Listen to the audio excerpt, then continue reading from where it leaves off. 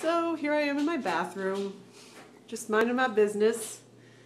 And what's that I see crawling on the wall? Oh, it's a nice little tick. That's just wonderful. I love finding ticks crawling on the wall. That's my favorite thing. I don't know where it came from, probably from the river. We go to the river a lot.